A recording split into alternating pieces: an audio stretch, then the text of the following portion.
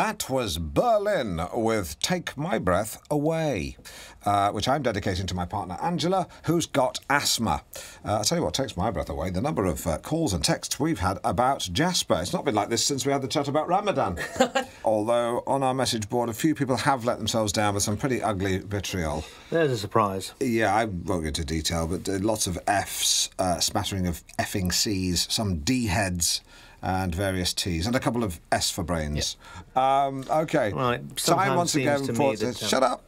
Time once again A thousand for- apologies. for our local hero of the week. Sponsored by Benson and Hedges. And uh, you'll remember last week it went to Andy Deacon, a father of three who was on a school roof retrieving a football and found the body of a cat, which he returned to its owner very thoughtfully in a silk lined shoebox. Ah, once again, uh, you've been calling with your tales of public spirit, heroism, and daring do. I'm sure it's what Alexander Graham Bell had in mind when he invented the telephone. Good humour.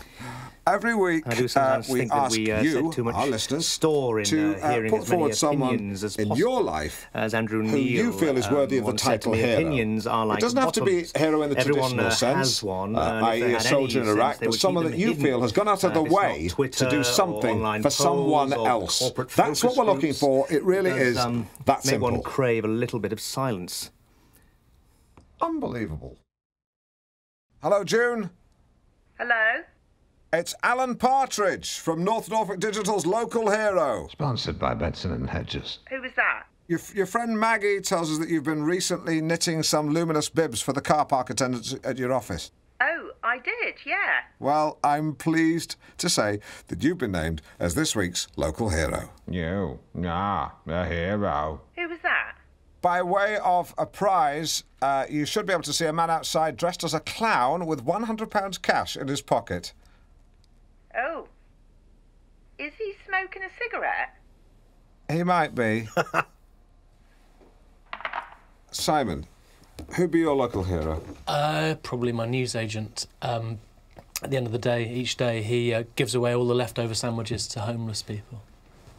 That's a hero. He's a hero. He's a hero. What about you, Jasper? Oh no, I uh, couldn't possibly comment. Oh, go on. Uh, well, I'll tell you who I wouldn't nominate. No, we can all do that. Hitler. Tell us who you would nominate. Well, I've always admired. Not someone who works in the media or London. Yeah, God forbid, making one of them a hero would be like Don't making... do one of those. Just tell us who's your hero. Well, uh, there was um, a history teacher at my uh, school, uh, Mr. Rigg. No, So be that's... Sorry. No, you were saying. No, no, no, please, do go on. I insist. Just he'd be. Uh, he didn't have to take me under his wing, and uh, he did. And he was very kind to me when I was when I was vulnerable, and uh, and I miss him. I don't mind saying that. You should talk more like that. Because when you did, you can see in your face that deep down, you, you're a cracking fella. Hmm? Thank you. Forget about it. Forget about it. Love that. Okay, time for some music. Here's a chap who's permanently high while his mates sell blubber for cash. It's Bob Marley and the Wailers.